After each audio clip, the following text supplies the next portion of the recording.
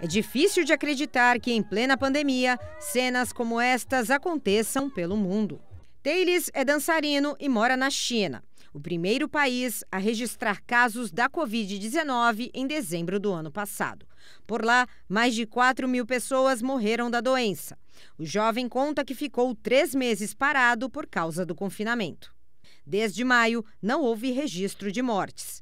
Morando em outra cidade, Teilis voltou a se apresentar. Segundo o dançarino, desde março, clubes, parques e restaurantes estão funcionando. A única coisa que está com bastante controle mesmo é os aeroportos. Que eles, eles pedem para você mostrar um QR Code lá no LP, um aplicativo aqui da China, para mostrar como é que está a sua questão da sua saúde. O segundo país a registrar casos da Covid-19 foi a Itália em janeiro. Por lá, mais de 35 mil pessoas morreram da doença. Andréa mora na região sul e conta que o lockdown foi respeitado por todos, o que ajudou a controlar o número de contaminações e de mortes.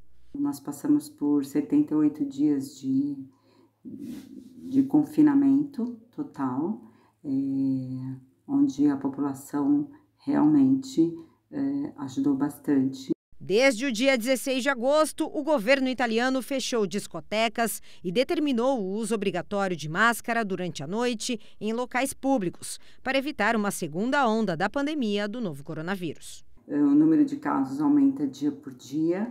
É, agora não são mais as pessoas de idade, agora o foco são jovens. É, inclusive as discotecas foram todas fechadas de novo a semana passada, porque é, se percebeu que, que o jovem na discoteca era um meio muito, muito fácil de, desse contágio começar de novo. A pandemia do novo coronavírus também chegou nos Estados Unidos em janeiro. O país registrou mais de 176 mil mortes. Lídia mora em Orlando há cinco anos. De acordo com a arquiteta, a flexibilização fez com que as pessoas relaxassem, o que levou ao aumento no número de casos. As autoridades logo entraram em ação com várias medidas. Uma delas é a proibição da venda de bebidas alcoólicas em bares e restaurantes para evitar aglomeração, a obrigatoriedade do uso da máscara, que é respeitado por toda a população, o distanciamento social, o uso de álcool gel e higienização dos espaços. Todas essas medidas, mais o entendimento da gravidade da situação e a conscientização da população, eu acho que fez toda a diferença para manter a doença sob controle aqui na, na nossa cidade.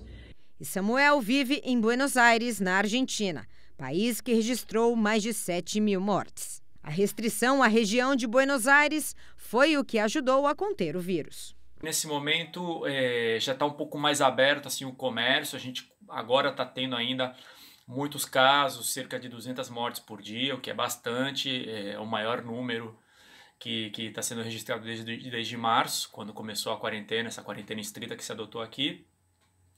Mas é, eu diria que foi assim um sucesso o começo, né? O que acabou, acho que faltando, foi haver mais testes, que testassem mais é, as pessoas para saber é, se elas tinham ou não a doença. O Brasil ultrapassou o número de 115 mil mortes e dos 3 milhões de infectados. Esses números crescem a cada dia. E, segundo os especialistas, o brasileiro precisa entender de uma vez por todas que o distanciamento deve continuar para evitar a circulação do vírus. A circulação viral mantida tornou que cada vez mais pessoas fossem expostas, entretanto, não todas de uma vez.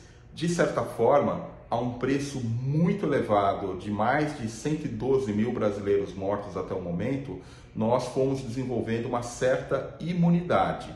Imunidade, entretanto, que ainda não é suficiente para controlar totalmente a pandemia.